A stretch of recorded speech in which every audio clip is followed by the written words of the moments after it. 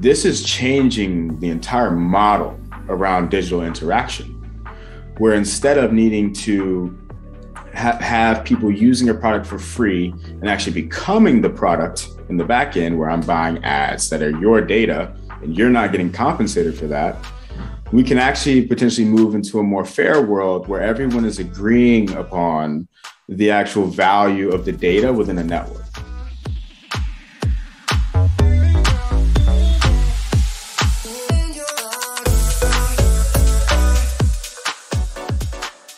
This is all open source technology, and it's been around for over a decade now. So anyone can and has been able to interact with this stuff for over a decade.